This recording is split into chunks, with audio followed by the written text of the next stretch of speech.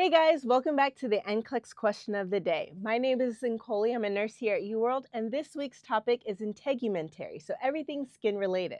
The question states The nurse is screening clients at a community health fair for skin cancer. It would be a priority to follow up if a client has what? Take a moment to pause the video and drop what you think down in the comments. So, for this question, since it is a priority, we're looking for an option that, if not assessed and treated quickly, it can turn into a bigger problem. So, the correct answer for this would be option two. A brownish black macule on the shoulder could be indicative of melanoma, a cancer of the skin.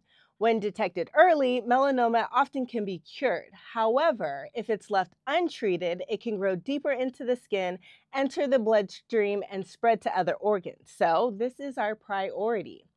Option one is keen towards something like cystic acne, which could be hormonal or reaction, but this is not a high priority.